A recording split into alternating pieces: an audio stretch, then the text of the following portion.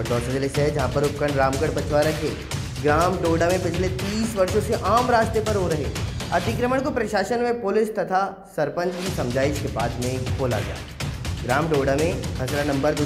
पर करीब 10 किसानों ने कर रहा था अतिक्रमण। वहीं आम रास्ते पर अतिक्रमण के चलते 30 वर्षों से रास्ता बाधित बना हुआ था। अतिक्रमण की लगातार शिकायतों को लेकर के नायब तहसीलदार संजय कुमार तथा रामगढ़ पचवाड़ा थाना अधिकारी दिनेश मीणा की अगुवाई में पुलिस की टीम जेसीबी के साथ पहुँची अतिक्रमण हटाने सरपंच प्रतिनिधि बद्रीलाल मीणा ने अतिक्रमणकारियों से समझाइश कर 30 वर्षों से बंद पड़े रास्ते को प्रशासन द्वारा हटाया गया। प्रशासन ने मुख्य आबादी से जोशी की कोठी तक 18 फुट चौड़ा रास्ता खोल करके